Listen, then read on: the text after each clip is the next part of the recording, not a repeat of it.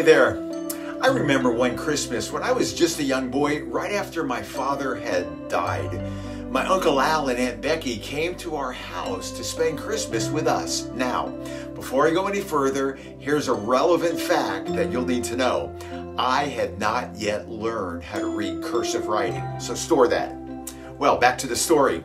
I followed my uncle to his car to help him bring in the Christmas gifts they had brought. He allowed me to make several trips with him, carrying as much as I could in my tiny little six year old hands.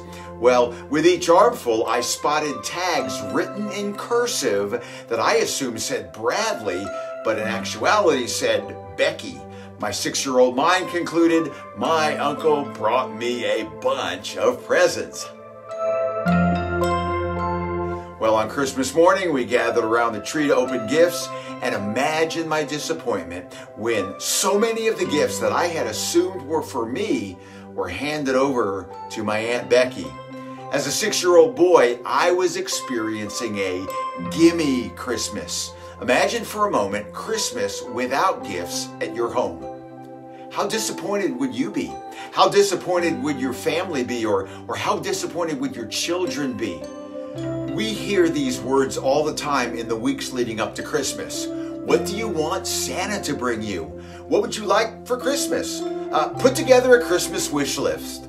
The gimme Christmas tradition continues. But here's a thought instead of giving gifts to people, invest in them. Consider this instead of socks or a tie for your brother in law, give a copy of the book that has impacted your life.